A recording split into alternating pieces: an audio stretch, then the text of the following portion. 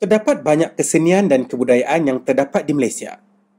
Semua kesenian dan kebudayaan ini merupakan produk bernilai yang mampu menjadi daya penarik kepada pelancong luar untuk datang ke negara kita. Ayuh, kita kenali beberapa kesenian dan kebudayaan menarik yang terdapat di negara kita.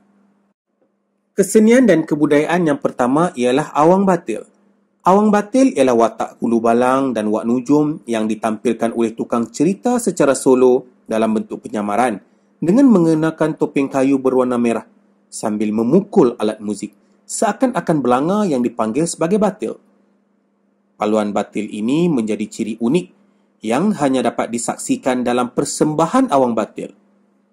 Topeng, batil dan serunai antara komponen penting dalam persembahan awang batil dalam menghidupkan jalan cerita yang turut diwarnai dengan dialog spontan, jenaka serta nyanyian mengikut kesesuaian acara dan sambutan khalayak.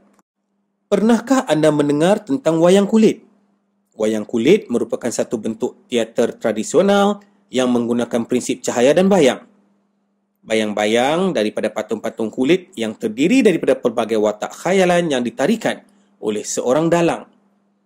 Persembahan wayang kulit selalunya diiringi oleh satu kumpulan muzik paluan atau gamelan dan juga alat tiupan seperti serunai atau alat bertali seperti rebab.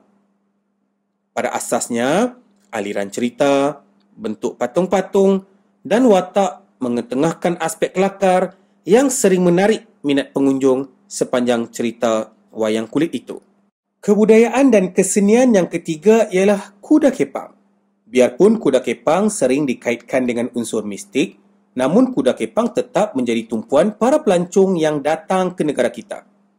Kuda kepang merupakan sejenis seni tradisional yang semakin ditelan zaman. Menurut orang Jawa, kepang merujuk kepada anyaman.